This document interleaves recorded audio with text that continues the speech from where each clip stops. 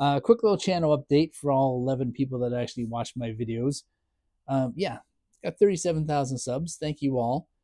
99% of those people, 99.9% of those people, never come back more than once. So, I mean, really, what looks like this is actually more like this. Uh, so, for the people that do follow my channel and actually have a vested interest in what happens here, I do appreciate you. And just want to give you a quick little update on what happened here, or what's happening here. Um, as you know, like since early spring, April, maybe, I've had to go through a few changes. I mean, uh, like I quit my job last August, quit slash got laid off, whatever it was at the time. Decided to go into content creation full time. I've been making a boatload of videos for brands doing something called UGC, which is user generated content, which is hence the term, you know, UGC Dad, which is my channel. And uh, it's been keeping me very busy. And then all of a sudden, my mom, uh, her cancer came back. Stage four, bang, hit like a brick. And uh, we've been dealing with that. So we had to renovate our basement, which meant I didn't have a studio to film at. Very difficult to make any kind of content. And uh, in the same process, I had to get her house ready for sale. had to put that up. I like to film a lot of content up there in Wasaga Beach. Well, now there's no place to film that. So my productivity dropped like a rock. And plus, now as a full time caregiver to a senior with stage four cancer, that right there, that's a full time job. I cannot stress enough how much sympathy I have for someone that is in a situation like that. And as you age and as we are an aging population, this is going to be more and more common. It's tough. It's really, really tough because uh, it's not like you're going to a regular job nine to five with a set schedule. It's a 24 7 job with no schedule because every day is different. So you think, oh, I'll have a break between 11 and 11:15 every day. Well, you don't. You can't because if you're an only child like myself or you don't have anyone else you can rely on,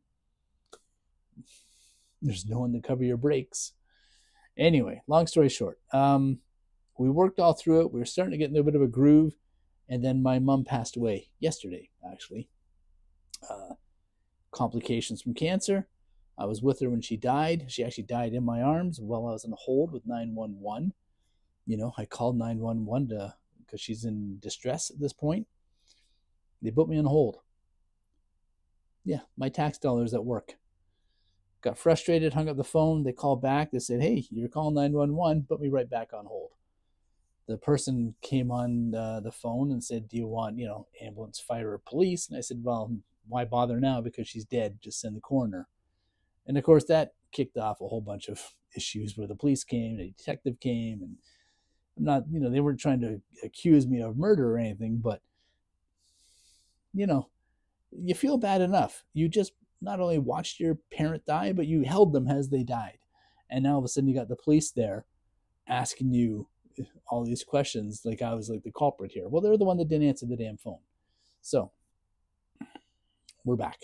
Hopefully. Now I can start making content again. I'm going to hit it with a vengeance because I got so much catch up to do. So this is mainly a video from me to you, the viewers, and to you, the brands, for your patience in dealing with me over the past year or so as I've had to go through this.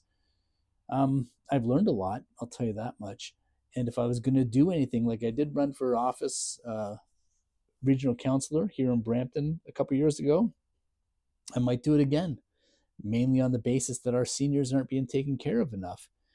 We are not getting enough support. Like there's support out there, there's a lot of support out there, but getting that support, I mean, you really got to fight for it, and no one is laying it out to you in easy to understand terms, especially if uh, you're a newcomer and you don't understand the language or the way that Canada works when it comes to um, governments like municipal, federal, and provincial. But, you know, that's a fight for another day. Right now, let's just get some videos made. So, thanks for putting up with me. Looking forward to making more. If you're interested again in into UGC content, I found that I have a really good knack for getting brands to uh, interact with and pay and get that done. What I don't have is enough creators to make everything happen. So I was thinking of actually starting an agency here where I deal with all the brands and then get a collection of creators over here that I can disperse all the brands to and then just take a little sliver out for myself to cover the compensation for setting the two in motion. If that's something I'm interested in, let's talk. Let's make it happen. Okay, I'm uh done making videos for the day. It's 8:30 at night. I'm going to sit on the couch and have a drink. Relax. Thanks for watching. Thanks for listening. Three, two, one. My wife is texting me. Take fucking two. I don't. Even, I've lost my train of thought already.